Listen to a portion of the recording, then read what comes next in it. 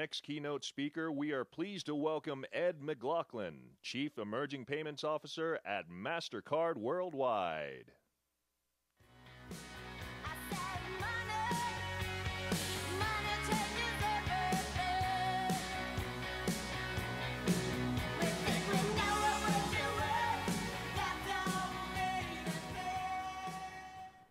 Good morning. And it's so absolutely exciting to be back at Money 2020.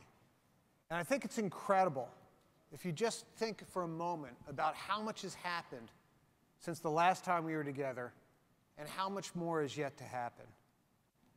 But I think all of the conversation, all of the demonstrations, all of the innovations are bringing home what may be the most important point for all of us. That for the consumer, it's not about any of this.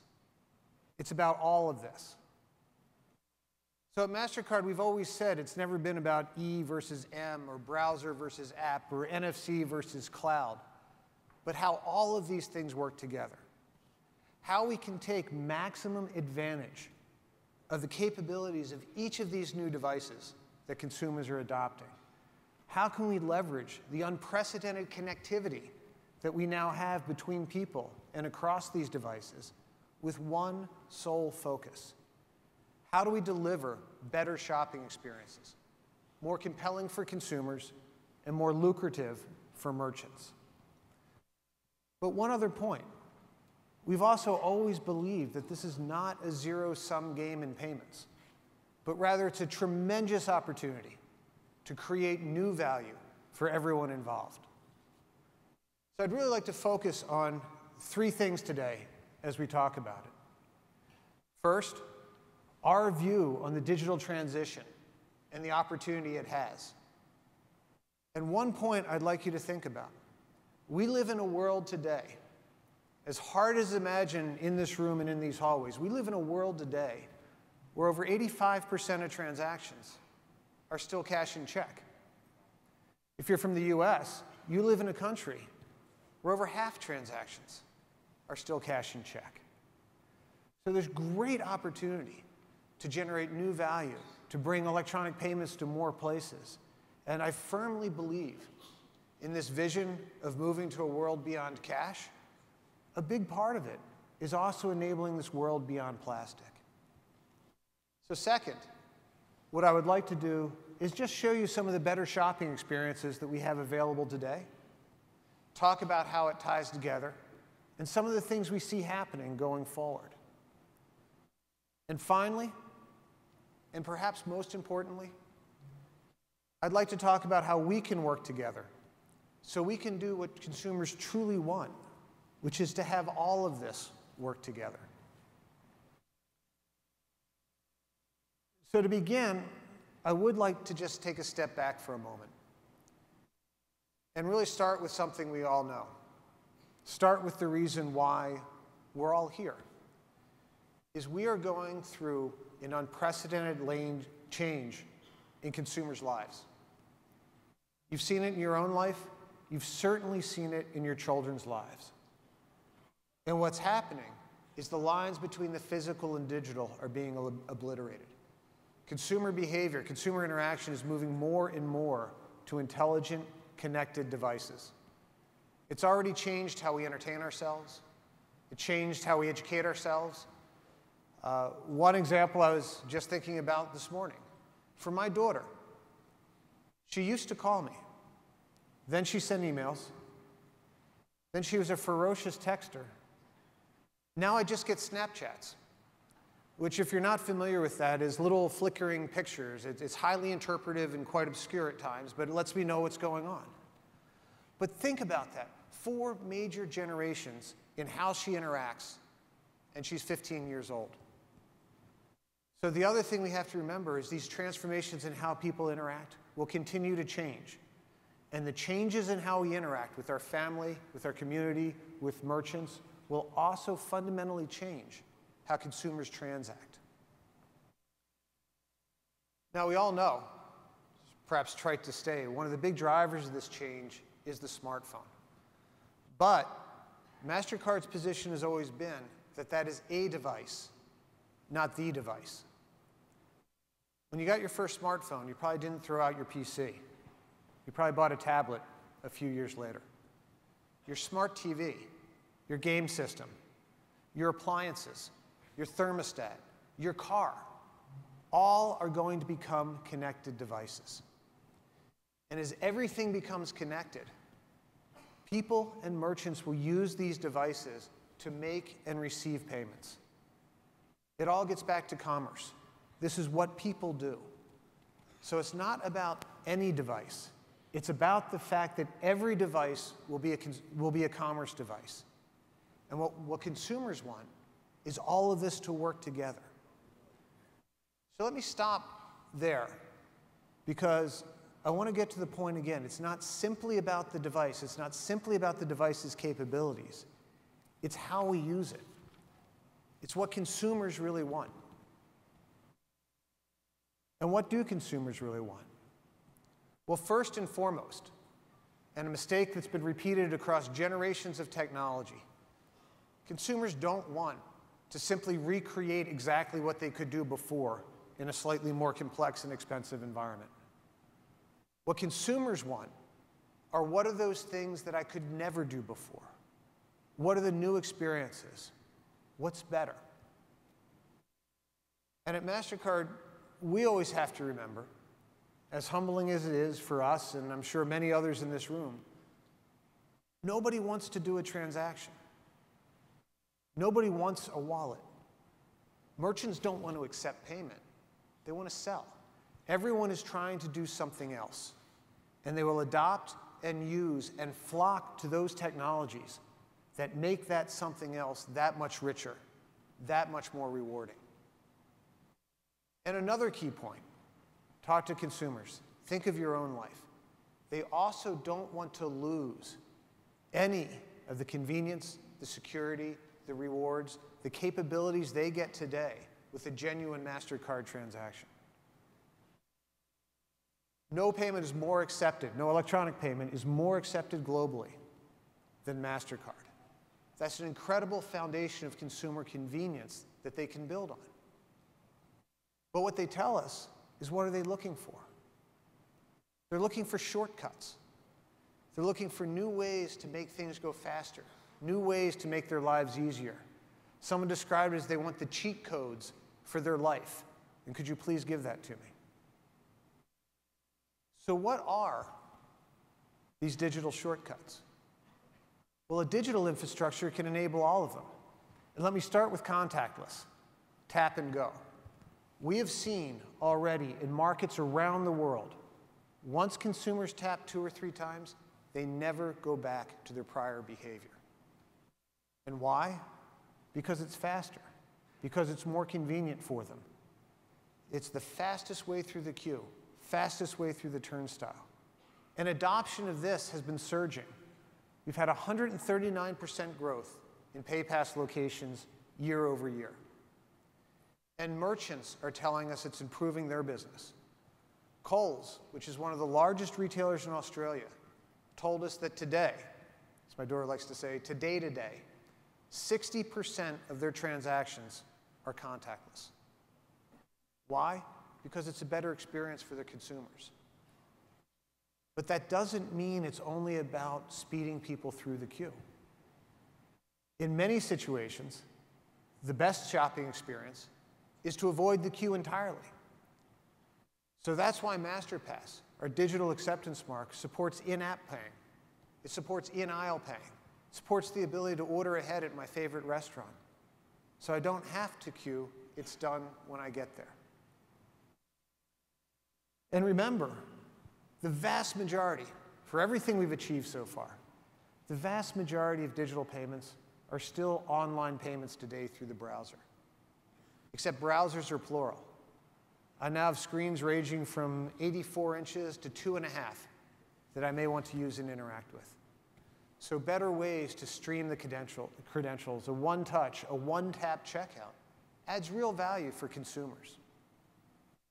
And then the last point, when we talk about designing MasterPass, designing digital MasterCard, one of the things that we've always said is we need to be ready for the as of yet unimagined edge device.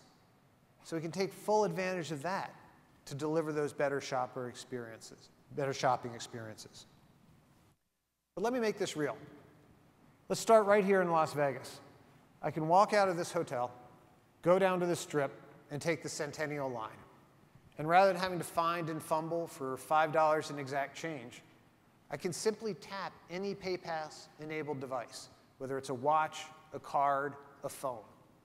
And this is just one example. Major transit authorities like Transit for London, one of the largest and most sophisticated in the world, is now open for PayPass transactions. Here in the US, with the CTA, the Chicago Transit Authority, we recently opened that up for PayPass transactions. And everyone here is in the consumer adoption business. In the first few weeks, we had over 10 million taps. And the reason why, because it was faster, because it was better. When you have 280 milliseconds, when you need absolute reliability, that is where contactless can really shine. But let's bring it forward. I'm on transit because I want to go somewhere. And for fashion, for electronics, for other experiential things, I'm going to want to see it. I'm going to want to touch it. I need more than the reviews. So I can go to the store and find that big screen TV that I really want.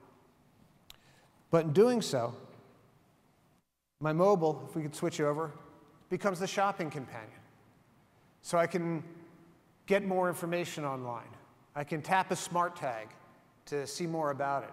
What I will want to see, perhaps from Citibank, is what is my financial information before I make this significant purchase? What's the open to buy on my credit line? How do I integrate the um, payment information back with what we have before?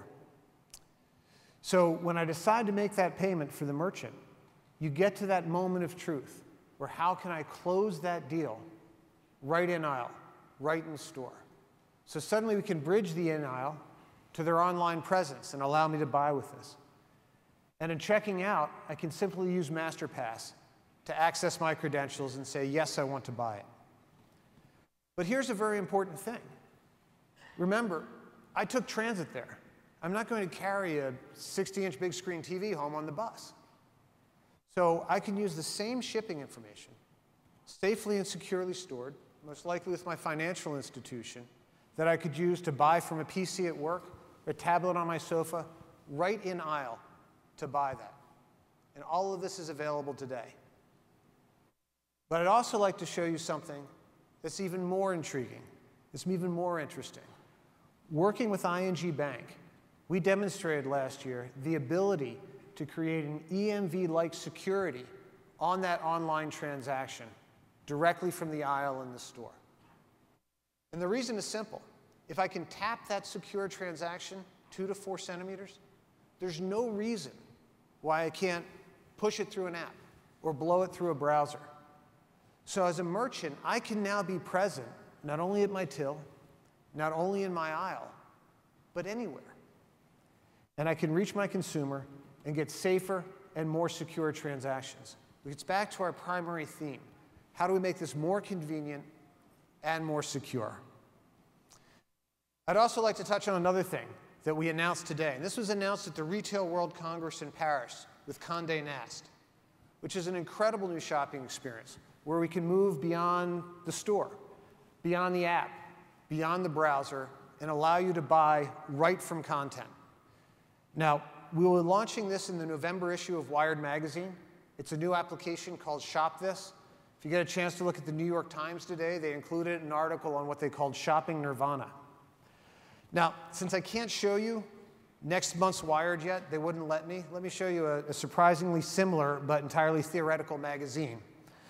But I could be looking at it, reading my content on headphones, and say, that's the one I want. With just a touch on the shop click icon, I can use my MasterPass credentials. I can use all that storing and shipping information that I use to buy my big screen TV. And that's it. And I've bought it. And now I'm back into my content, reading about what may be my next device, that next device that I would want to use for commerce. So I want to make sure that we make the point. It's never been about just the PCs, smartphones, or even tablets.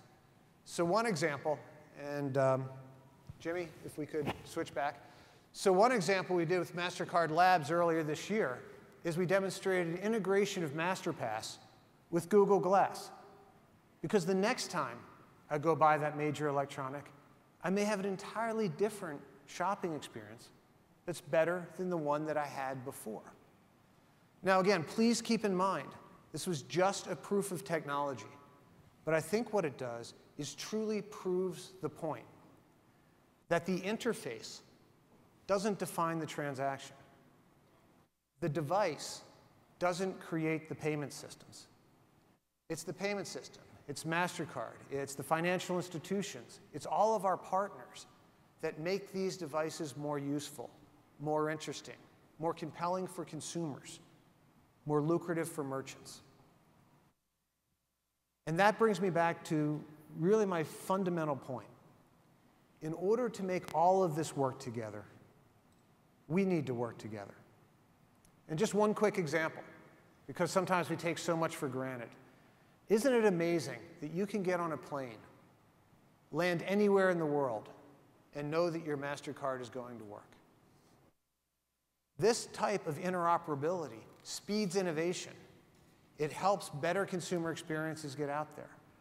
No one would have been successful if we all tried to have our own proprietary magstripe, if merchants had to do 17 different things. So that's why last week, working with our financial institution customers, we also had an announcement with Visa and American Express on how we can set certain industry standards to help accelerate this transition from the physical to the digital. And the one thing that's great about this is standards are inherently inclusive. These are things that are open to all. But there's really four elements that we wanted to look at four questions that kept coming up. First, as we store credentials in more and more places, as we want to include security keys and cryptology and enable things like in store and online payments in a more secure manner, how are those credentials handled? What's stored? We know we don't want it to be the base card information. So, a token, a virtual representation of that card, makes the most sense. But every device manufacturer, every container needs to know what to expect and how to handle that. So it's a perfect example for an industry standard. Because we also all know the way to make information truly safe is to make it useless if it's used outside of context. Secondly, as we move from plastic to digital, there's more information we can move through the networks to make the devices work better, to allow issuers to make more informed decisions as they serve their customers.